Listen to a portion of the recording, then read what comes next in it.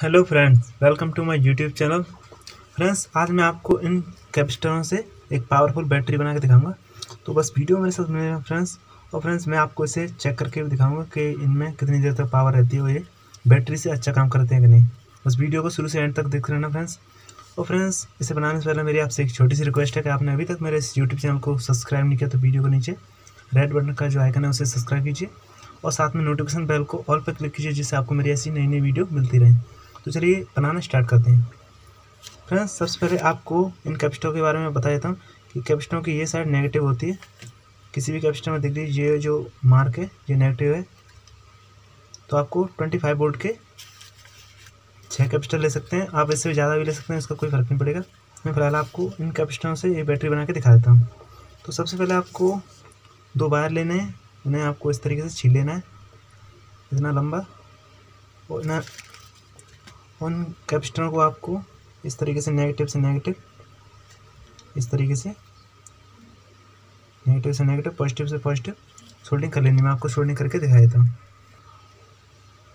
तो इस तरीके से फ्रेंड्स आपको इन कैपेसिटरों को आपस में कनेक्ट कर लेना है। आप देख सकते हैं यहाँ पे इनकी जो पॉजिटिव लाइन है, वो पॉजिटिव वायर से कनेक्ट किए, और जो नेगेटिव साइड है, वो एक नेगेटिव वायर से कनेक्ट किए। तो ये हमारी बैटरी बन के कंप्लीट होगी। अब मैं आपको इसे चेक करके दिखाता हूँ। लेकिन इससे पहले फ्रेंड्स आप इसे बारह वोल्ट से लेकर पच्चीस वोल्ट के चार्जर से इसे चार्ज कर सकते हैं। तो मैं आपको पहले से चार्ज करके दिखा देता हूँ। फिर उसके बाद मैं आपको इसे चेक करके दिखाऊँगा कि इसमें कितना वोल्टेज है और ये काम करता है कि नहीं। तो चलिए देखते हैं।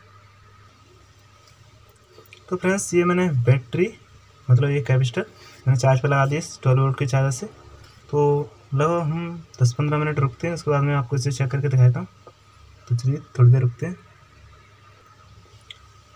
तो फ्रेंड्स, लगभग पंद्रह मिनट हो चुके हैं तो मैं इसे आपको दिखा देता हूँ, चेक करके कि इसमें वोल्टेज स्टोर हुई कि नहीं। बारह वोल्ट की बैटरी की तरह काम करेगा। मैं आपको दिखाता हूँ मल्टीमीटर से। तो देखिए, मैं आपको इसे चेक करके दिखा देता हूँ। तो देख सकते हैं, इसमें वोल्टेज प्रॉपर स्टोर हो रही है तेरह वोल्टेज के करीब बता रहा है।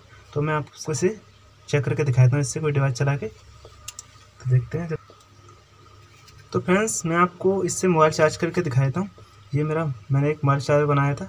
इसकी वीडियो मेरे यूट्यूब चैनल में है। आप देख सकते हैं जाके किस तरीके से आप 12 वोल्ट से मोबाइल चार्ज कर सकते हैं। तो मैं इसे इसमें कनेक्ट कर देता हूँ। आपको इससे मोबाइल चार्ज करके दिखा देता हूँ कि इससे मोबाइल चार्ज हो रहा है कि नहीं।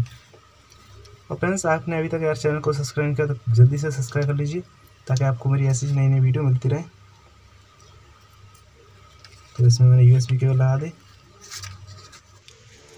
तो चलिए फ्रेंड्स, मैं आपको इससे मोबाइल चार्ज करके दिखा देता हूँ। ये इसकी यू एस केबल है। तो अब मैं आपको इसमें इसे लगा के दिखा देता हूँ।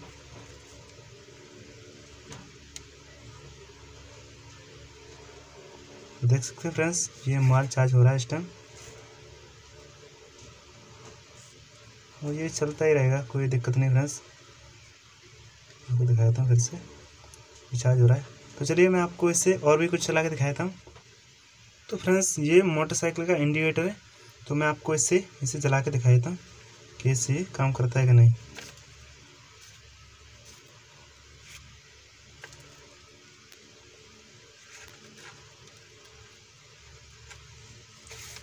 तो देख सकते हैं, ये इससे प्रॉपर तरीके से वर्क कर रहा है।